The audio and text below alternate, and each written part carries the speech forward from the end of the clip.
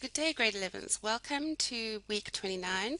We're carrying on with finance growth and decay, and what we're doing in this lesson is we're learning about timelines. And the reason we have to do timelines is because it helps us when we have it helps us to visualize multiple changes. So if, for example, if we have a whole bunch of changes in the deposit, some withdrawals, and maybe an interest change, then a timeline helps us to visualize what's going on, and then we can work out the sum. So let's look at an example. It says Wyatt invested 90,000 Rand in the bond market for seven years. The interest rate for the first two years was 8.5% compounded annually. For the next three years, the interest was increased to 9.75% compounded monthly. And during the final two years, the interest was compounded quarterly. Calculate the total value of the investment at the end of the seven years. And to help us, what they've done for the first one is they've actually helped us by putting in our timeline that we're going to use. So let's look at this. It says, Wyatt invested 90,000 Rand. So at T0, his principal was 90,000 Rand, right? He put it in the bond market for a full seven years. The interest rate for the first two years. So for the first two years, the interest rate was 8.5% compounded annually. So remember, we need to convert this 8.5 to a decimal. So what do we do? We divide by 100, so that becomes 0.085. So I'm going to write that over here. So that's 0.085 and it's compounded annually. Right. During the next three years, let's change color so we don't get confused. During the next three years, the interest was increased to 9.75%, but it was compounded monthly, compounded monthly. So now the interest rate is going to be what? It is 9.75. We divide it by 100 to get it into decimal, which becomes 0.0 975. But remember, if it's compounded monthly, what do we do to the interest? We divide it by 12. Therefore, do you agree that this becomes 0,0975 divided by 12? That's the interest. The payments, however, we are paying for the next three years, we're paying monthly. So our payments, our N, is going to be 3 times 12, which is going to be 36. Okay, so n is 36. And for the final bit, the final bit will change to green. What do we have? We've got during the final two years, the interest rate is compounded quarterly. So it stays at that, but now it is increased, I mean compounded quarterly. So now the interest is going to be 0.0975 divided by 4. And for the final two years, because it's compounded quarterly, n is going to be 2 times 4, which equals 8. Okay, so now let's go back and do the sum from the beginning. So what do we have? We know that this is all compounded interest. So we know the formula is A is equal to P 1 plus i all to the power of n. Now the principal initially is 90,000 Rand times by 1 plus the interest rate which is compounded annually so it's just 0.085 and it is for the first two years so it's from T0 to T2 so that is just 2 so that becomes 90,000 times by 1.085 all squared. So we get out our calculator and we move it over so we can see what we're doing. So we write 1.085 squared times by 90, 123, and that becomes 105,950.25. 105,950 105,950.25 0.25. Right, now we're going to move into our second period where there's an interest change. And this now, this amount that we got out now, is the principal for this period. It's the amount that we got going into this period. So the principal for this period is 105, 950.25. Our interest, we've already worked out, is 0.25. 0.975 divided by 12 because it's compounded monthly. And the payment, because it's three years, compounded monthly, there are 36 payments. So this time our amount is going to be 105 950.25 times by 1 plus 0.0975 over 12 all to the power of 36. So now we need to put that in our calculator. And again, we move the calculator over so we can see what we're doing. And we say, okay, fine, what have we got? We've got 0.0975 divided by 12 equals plus 1 equals to the power of 36 equals and then we times it by 105 950.25. And what do we get? We get 141 781.59. 141 781.59. So we get 141 781.59. Right, now let's move on to our final period. So our final period, what do we have? We have this now is the principal for the final period. I'm going to write it down here. So this time the principal is 141, 781.59. Remember the interest rate was exactly the same, except now it is compounded quarterly, which means we take our 0.0975 and we divide by 4, it's two years, but because it's compounded quarterly, we be paid four times per year. So it's two times four, which is eight. So now our A is equal to our P, which is 141, 781.59 multiplied by 1 plus 0.0975 all divided by 4 to the power of 4. Right oh, uh, my bad, to the power of 8. Okay, now let's get out our calculator again.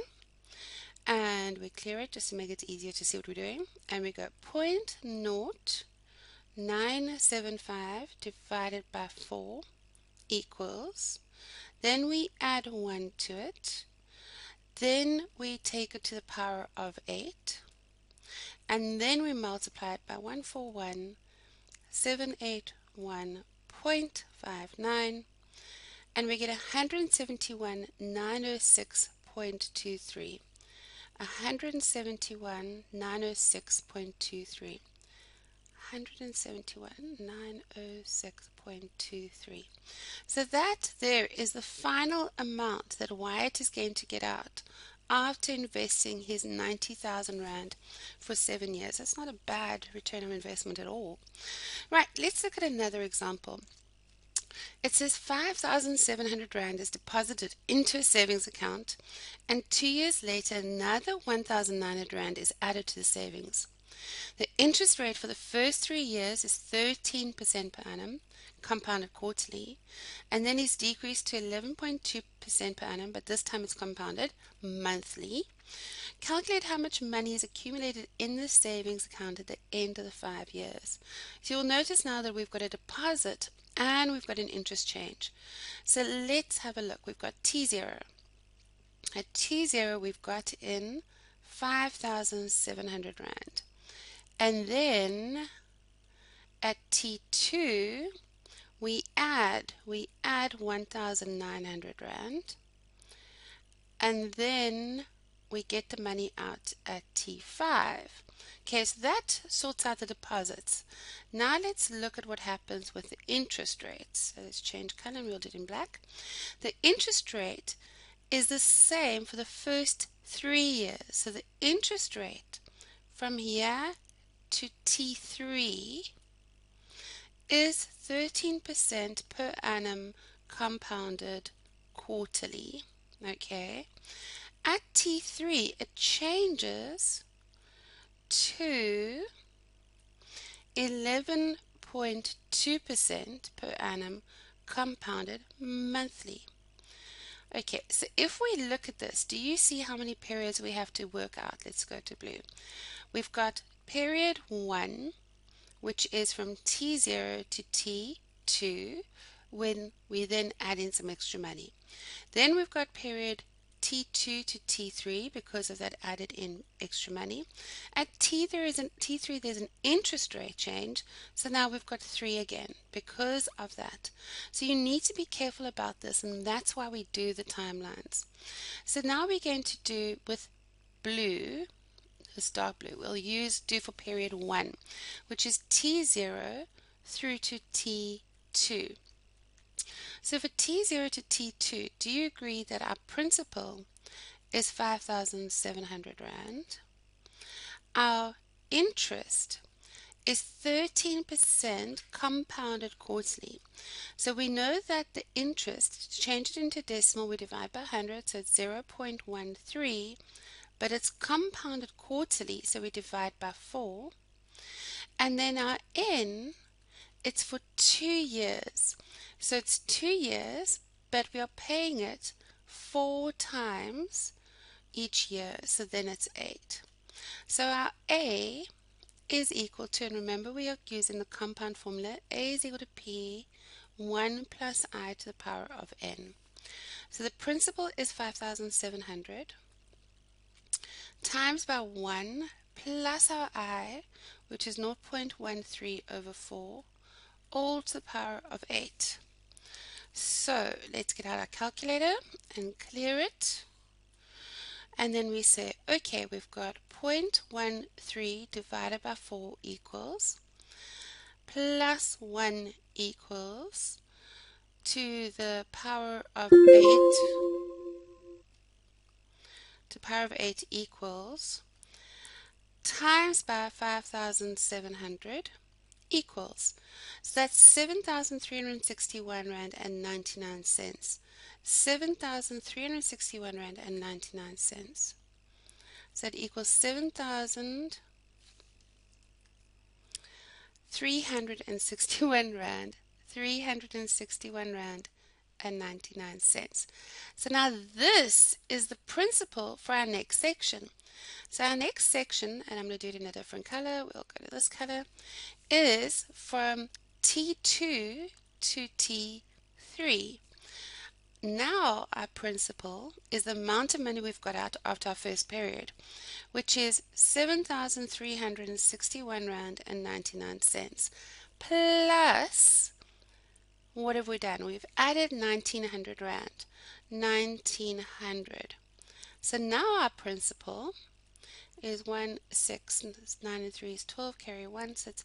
So now our principal is 9,261 Rand and 99 cents.